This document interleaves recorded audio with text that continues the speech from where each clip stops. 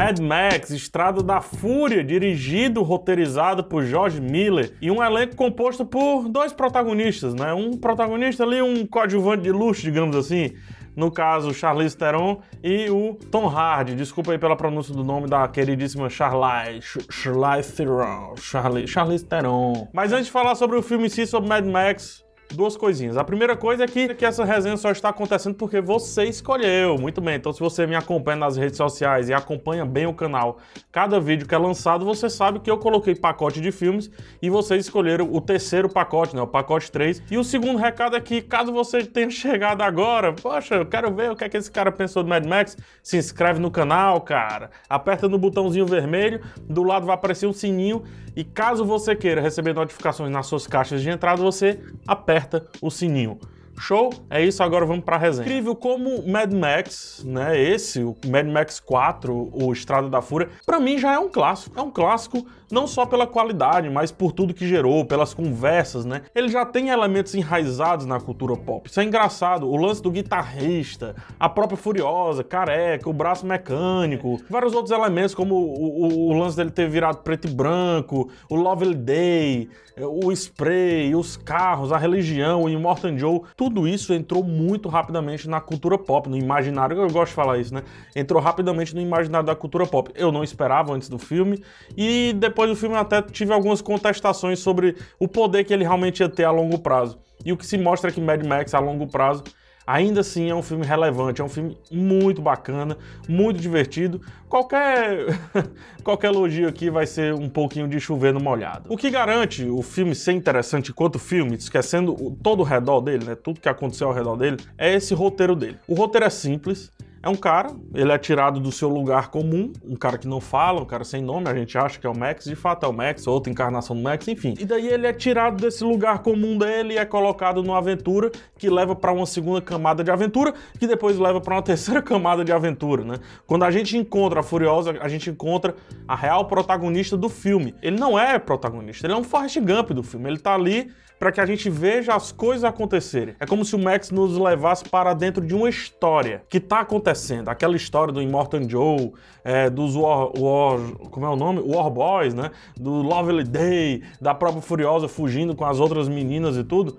Tudo aquilo ali aconteceria com ou sem a gente. É isso que dá a, a, a aparecer. Mas a gente teve a sorte do Max nos levar lá para aquela situação. E aí ele nos leva e a gente começa a assistir tudo aquilo. A gente começa a entender todo esse universo, que é um universo bem complexo, mas de certa forma divertido de embarcar. Então é um roteiro inteligente. Pode parecer simples, de fato ele é simples em vários momentos, mas ele é inteligente. Ele é roteiro do vai e volta, é roteiro que vai, chega lá, não é bem o que a gente queria e volta. Muito utilizado nos anos 80, esse tipo de roteiro, um pouquinho nos anos 90, né? É, o, o clímax ele é baseado no anticlímax, o clímax ele é baseado no objetivo que foi traçado e não foi alcançado como se esperava. Um roteiro muito legal e eu acho que é isso, dentre várias outras coisas, que coloca o filme num patamar acima do que deveria ser juntando todos os Mad Max, ele empata com Mad Max 2. E se juntar todos os outros Mad Max, que não seja o 2, não dá um chinelo do Mad Max 4. Outra coisa muito legal do roteiro são os trejeitos, são os minimalismos, são as pequenas coisas, os detalhes. Se tirar o guitarrista, o filme funciona? Funciona.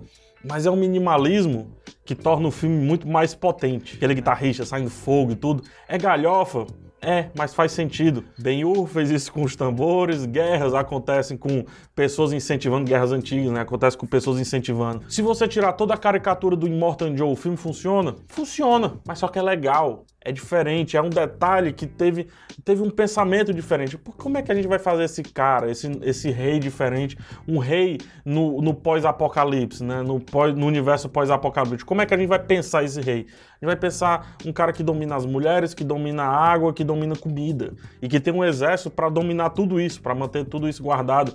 E então esse cara cria várias culturas.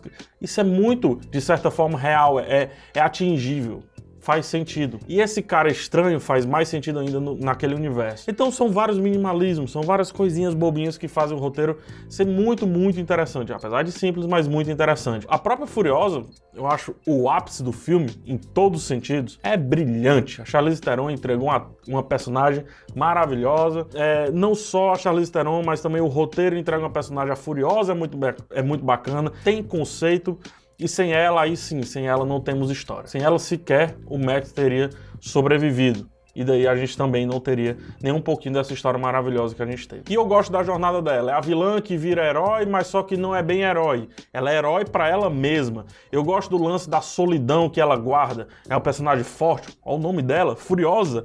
Mas ainda assim, a qualquer momento ela pode chorar. Ela pode mostrar outro lado. Vamos lá, tem, ela tem um braço super estiloso, um braço mecânico e tal.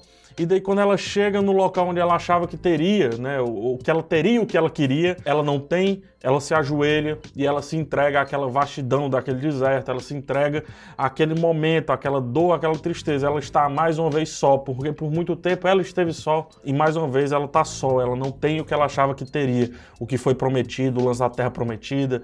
É, aí são várias metáforas, chegar ao céu e não sei como é que a gente imagina, mas enfim, isso é para outro vídeo. Então isso, tudo, tudo isso envolto numa fotografia maravilhosa. A fotografia desse filme é impecável. O amarelo que nos dá calor, as cores estourados que também nos dão calor, mas de vez em quando a escuridão vem e a gente fica com um pouco de medo. Por exemplo, na tempestade, o amarelo ganha tons de vermelho mas é um vermelho escuro. A, a câmera fecha, a, a, o diafragma ele se fecha, pouca luz entra ali, e daí o filme se torna outro tipo de fotografia. A gente vê uma fotografia extremamente clara, estourada. Eu lembro no cinema do filme abrir aquele, aquele primeiro plano e estourar o meu olho. Né? E depois, quando sai da tempestade, o plano abre de novo e estoura novamente o meu olho. Então, vários planos abertos para dar a sensação de, de vazio, de vastidão e também cores impecáveis. Eu assisti a versão preto e branco e o filme continua excelente. Inclusive é outro tipo de excelente. Assista, tenha essa experiência. Eu reassisti em preto e branco para fazer essa resenha. Tem essa experiência que vale muito a pena. A direção de George Miller é muito atual. O George Miller é um diretor das antigas. A gente está vendo alguns diretores das antigas com dificuldades de se adequar a um modelo novo, mas a direção, junto com a montagem, cara, é muito atual. Esse lance da, da, velocidade dada durante as cenas de ação é raro nos filmes atualmente, né? principalmente em Hollywood.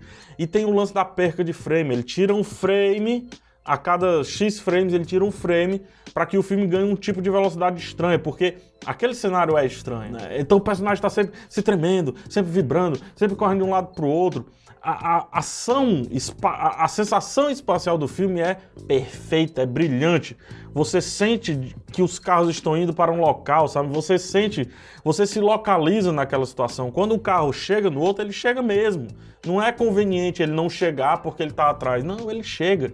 É um carro melhor, é um carro com mais combustível, seja lá o que for. Ele vai chegar, ele vai atingir, a gente vai ter uma puta cena de ação. É, toda a sequência da tempestade na neve, para mim já é épica é épica. Posso estar exagerando, mas eu já acho épica. É por isso que pra Mad Max Estrada da Fúria tem muita coisa a se falar sobre esse filme ainda, mas eu vou dar, é, vamos lá, rapaz, quatro estrelas e meia. O que é que falta? Eu acho que a gente poderia ter um pouquinho mais de Max. É legal a gente ter a Furiosa como protagonista? É mas o Tom Hardy ainda para mim não entrega um Mad Max perfeito. E aí o filme deixa algumas pontas soltas demais. Você pode ter um próximo filme para responder? Pode. Você pode sequer não responder? Pode. Isso é legal para gerar conversa? Super legal. Às vezes o filme não me parece é, autossustentável. Tem algumas respostas que ele poderia dar um pouquinho de mais de, de pistas, deixar a gente pensando, mas com mais artifícios. A única coisinha que eu acho ruim do filme. Mas é isso, deixa aqui seus comentários, me dê a sua opinião sobre esse filme. Eu tenho certeza que você gostou. É muito difícil, mas eu também quero a opinião de quem não gostou desse filme. Por favor, comenta aqui. Se gostou do vídeo, dá joinha. Se não gostou, dá dislike. Beijo no coração de todos. Até o próximo. Tchau.